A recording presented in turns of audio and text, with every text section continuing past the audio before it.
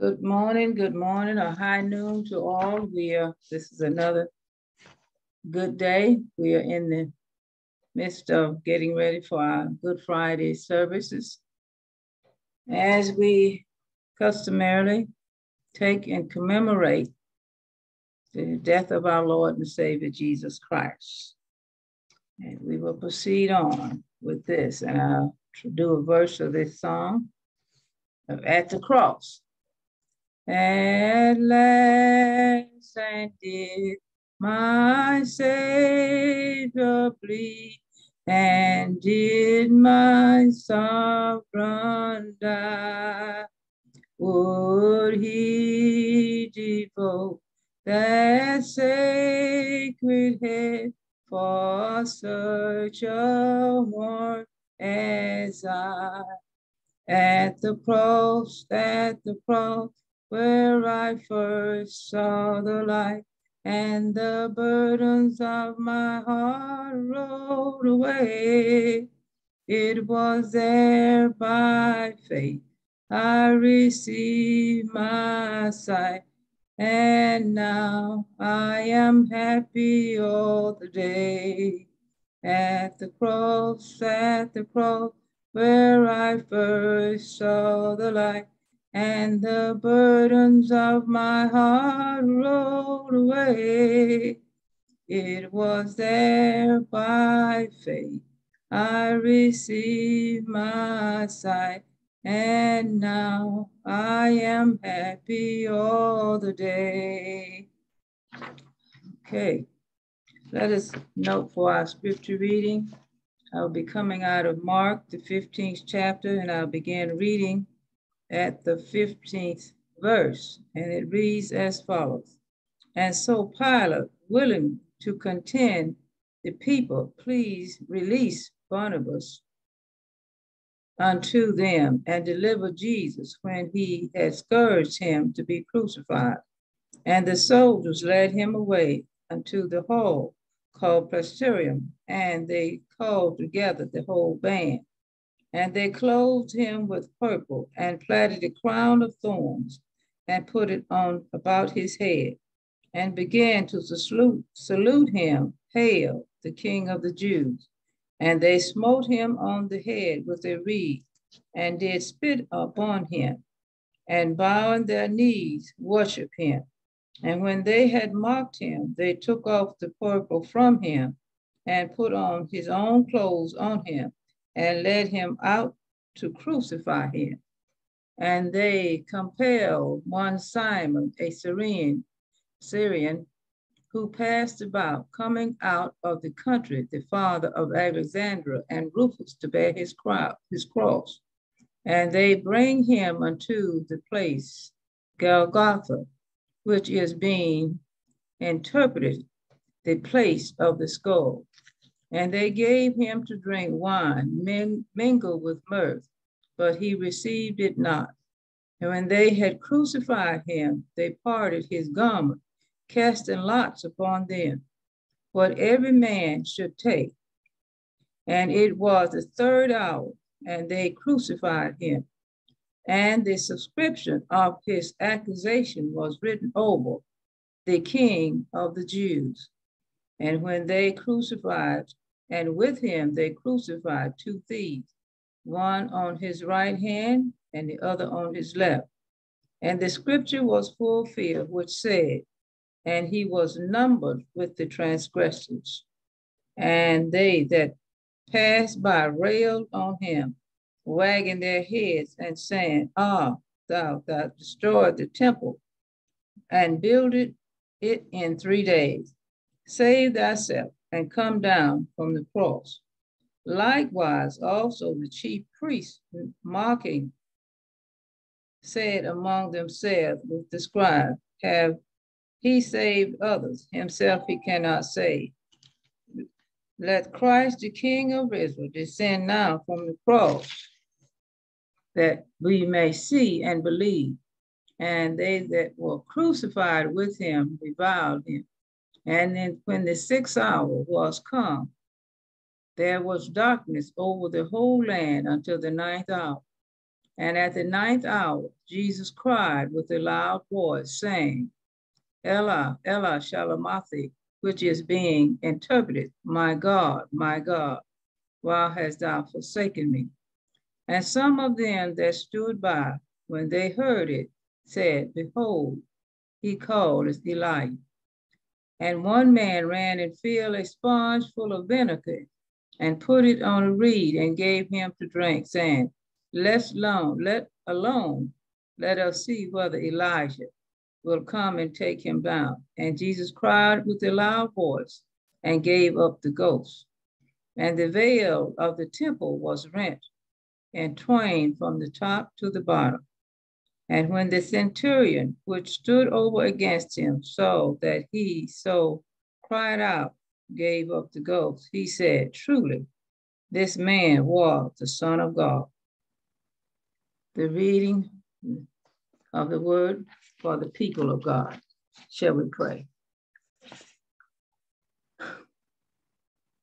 This morning, our kind Heavenly Father, Father, we come to pause and just to pay homage and honor of this day that is set aside as we remember the horrific death that your son Jesus Christ died on the cross, providing salvation to all who believe. Father, we thank you for giving your son, and we thank him for willingly sacrificing his life so that all who believe will have eternal life. And Father, we thank you that if the churches that are open this, this day to celebrate and commemorate the sacrificial death of the cross. Father, let all of us come in true worship and true honor of which is so deserved, and in thanksgiving for what you've done for us on this day. For Sunday morning is coming. And Father, all who believe in you, Son Jesus, died with him on Friday, but we, and we rose with, we with him on Sunday morning. And for this, Father, we said thank you for your love, your grace, and your mercy. In Jesus' name I pray. Amen and amen. Okay. Well, preparing to bring this Good Friday message, which is customary for the crucifixion and the resurrection season, some might wonder and ask the question, why is it Good Friday when my Savior is having to suffer a horrible criminal like death? Well, let me try and answer this question as my focus is on what Jesus said while on the cross. But first, let me say this. It's a Good Friday because if Jesus had not died on the cross of Calvary that Friday, there would be no hope of salvation where all who believe and accept him as their personal savior will spend eternity with him.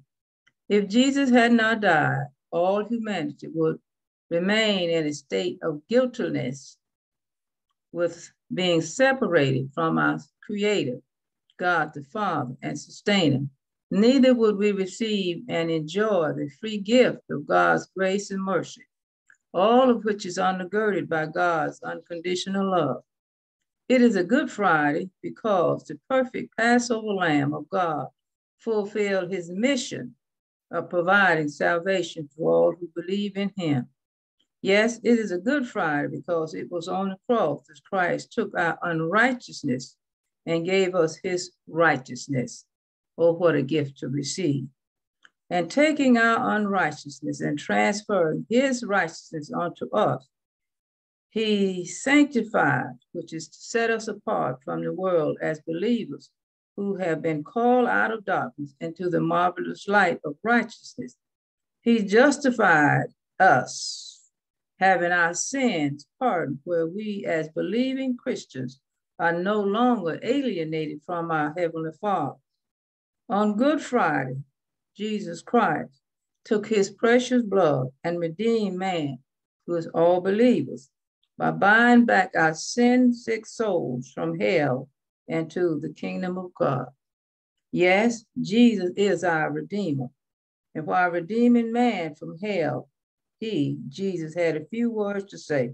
So let me look at these words as we reflect on that the love of God the Father had and has for humanity, and the love and the willingness of the Son displayed that he would give his life for mankind. So in Luke 23 and 34, we find Jesus' first word when he looked out over humanity and said these words Father, forgive them, for they know do not know what they are doing. That's from the King James Version. Christ was telling his Father to forgive them because I am taking their sins, and in doing so, they have now they now belong to you. Forgive them because I have healed their brokenness. I have healed their brokenheartedness. Father, forgive them because I have bound up their sin sick wounds. Father, I have taken their bruises and I have worn their crowns of thorn, which was placed on my head. So, Father, forgive them because they do not know, neither do they understand the love and the blessings that you have for them and they have been forgiven, forgotten, that you created them in your image and likeness to be in an intimate fellowship with you. Father, forgive them as I am, their mercy seat, taking on all of their sins and unforgiveness. Father, forgive them because I have made everything right between you and humanity. But let us just continue to reflect on Jesus' conversation where there were two thieves, one on either side of Jesus. One recognized Jesus as someone who did not deserve to die a horrible death and asked Jesus for to remember him when he come into his kingdom. And Jesus looked on the repentant thief and said these words, I tell you the truth. This today you will be with me in paradise. That too is from the King James Version of Luke, no, the NIV version of Luke 23 and 43. Jesus was forgiven the unrepentant sinner of his sin. This is what happens when sinners believe in Jesus Christ and accept him as one's personal savior. Their sins are forgiven, and the person is no longer separated from God. The repentant sinner is now a member of God's kingdom and are now part of God's peculiar people of holy nation, of holy priests. The redeemed person is a new creature in Christ, while the unrepentant sinner is a representative of all those who reject Jesus as their Lord and Savior, the one who was found worthy to pay their sin debt. God, being all knowing, knew many would reject his saving grace and be lost forever, while many will accept Jesus as Lord and Savior. The choice is clear accept Jesus and be saved, or reject him and be lost. As Jesus complete, continued completing his mission of bringing salvation to all who believe, there was a crowd there in the crowd was his mother and his disciples. Jesus looked out unto the crowd and saw his mother and spoke these words. I'm coming from John 19, 26 and 27. When Jesus therefore saw his mother and the disciples standing by, whom he loved, he said unto his mother, Woman, behold thy son. Then he said to the disciples, Behold thy mother. And from that hour, the disciples took her into his own home. This is another demonstration of his love for humanity and others. Jesus was ensuring that his mother would be cared for even in his dying hour. Jesus was perfectly, perfect, perfectly caring for his mother even in death. When Jesus told his disciples, who is, we can presume that is probably John, to behold the Son, he was establishing a church family where love is the tapestry that holds everything together family, friends, and even the universe. The power of Jesus. Yes, children are to love their parents and to make every effort to care for their needs, especially in their old age. A mother's love is unconditional, just as God loves us is. So let me just kind of move on to the next word that our Savior spoke while dying on the cross, atoning man's sin.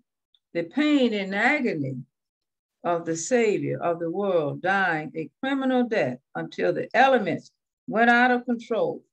The sun turned dark and back toward the Father, saying, I cannot look on your son dying. The moon turned to blood, and the weight of the world was so powerful that the earth began to reel and rock like a drunk man. And it was at this point, the ninth, the ninth hour, that the only time in Christ's life that he felt separated from his Father, that he uttered these words as recorded in Matthew 27 and 46. And about the ninth hour, Jesus cried out with a loud voice, saying, Eli, Eli, lama sabachthani, that is, my God, my God, why hast thou forsaken me? Jesus felt separated from his Father, dying for sinners' substitutionary death. When sinners die out of the safety of salvation, they are eternally separated from God. Christ died forsaken so that all who believe will not have to be forsaken for the Savior we have. And John 19 and 28 records Jesus' final words and as he fulfilled scripture, said, I thirst. Jesus knew that everything was now finished, and to fulfill the scripture, he said, I thirst. These words were prophesied in Psalm 69 21, which state, And my thirst they gave me vinegar to drink. This is what happened when Jesus said, I thirst. Instead of water to quench his thirst, they gave him vinegar. Jesus, knowing that his mission was completed, he said, It is finished. And I don't want to seem like I'm rushing through, but I'm just talking about the words, Jesus' conversation and the meaning of what they said. And in his triumphant cry, Jesus had completed his mission of providing salvation to all who believe. And he said, It is finished. It is finished is a triumphant shout that the earthly ministry had come to a close and his work on the cross was now complete and he would return back to his Father. Jesus had finished his work as the sacrificial Passover lamb, dying the substitutionary death for lost souls. It is finished. Yes, Jesus finished his mission here on earth. Nothing can be added to the finished work of Jesus' sacrificial death, and nothing can be taken away from it, for it is now complete. Through his shed blood, he has forgiven sin that were no need for yearly earthly pre-sacrifices. His blood paid it all.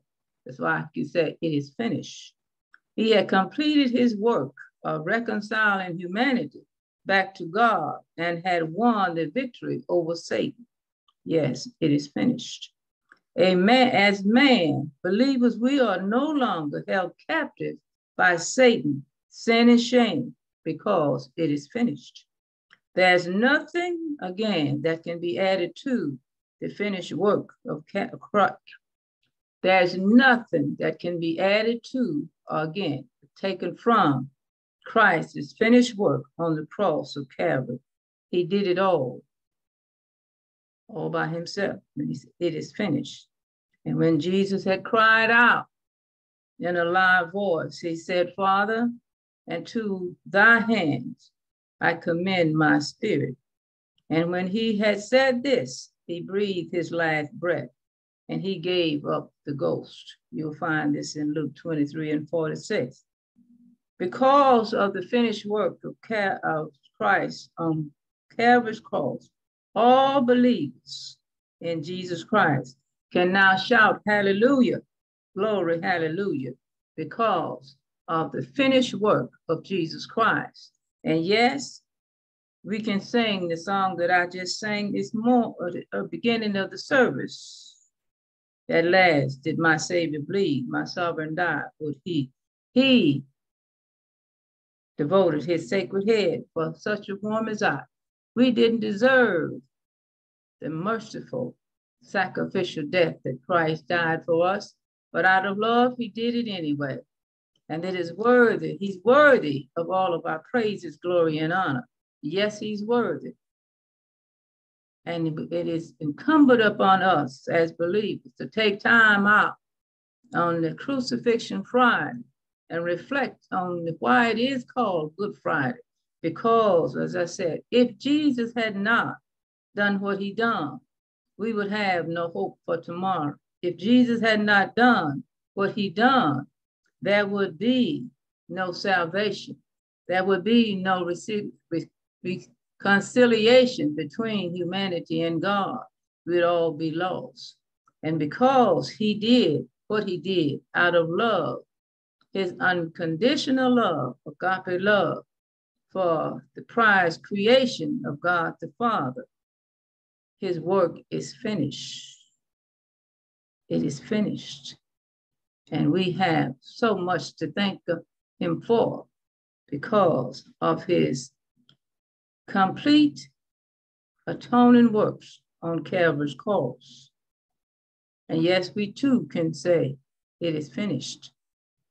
My Savior paid it all. We must take a personal look at it internal self-reflective look and said, this is what God, the Father, did. He gave his son, the son gave his life. And yes, when we look at the true meaning of grace, it is God's righteousness at Christ's expense. And yes, we are we he counted us worthy. He looked beyond our faults and saw our needs. We needed a savior. And Jesus Christ is that savior. Yes, we needed a Savior. Uh, and Jesus Christ is that Savior. Yes, it is finished. And I thank God that Jesus finished his work here on the earth, going to the cross of Calvary, dying. But let's just make it personal for my sins, a sin that he did not commit, but a sin debt that he paid all out of love. Yes, he paid it all. For that, we all must say, thank you. There is nothing no greater than to have a Savior who took his blood and washed us whiter than snow. He took his blood and gave us a right standing with our Father by pardoning our sins. And he took his blood. So now that we have been, our sins has been forgiven and pardoned, we can now have that restored relationship with our Heavenly Father. And when God the Father looks at each of us, believers, he sees the righteousness of his son Jesus in us and him, Jesus Christ, doing what he did, all believers must now sing praises, glory, and shout, Glory, hallelujah. I am saved. I am set free. I have been liberated from sin. And each day of our lives, we must live manifesting the righteousness of Christ as an expression of our gratitude for what Christ done for us on the cross of Calvary. But yes, it may have looked gloomy on Friday to the naked eye, but it was good that he did what he did because Sunday morning is coming. And when we, we all who died with Christ will rise with him on Sunday morning. I thank God that he did. And yes, it was a good Friday for all who believe. Let us pray. Kind Father, I thank you for your son Jesus. And I thank him for going to the cross for our sins. And Father, let us this day make this day take on a new meaning and the atoning works that your Son did for all who believe and for all who are yet to believe. In Jesus' name I pray. Amen and amen.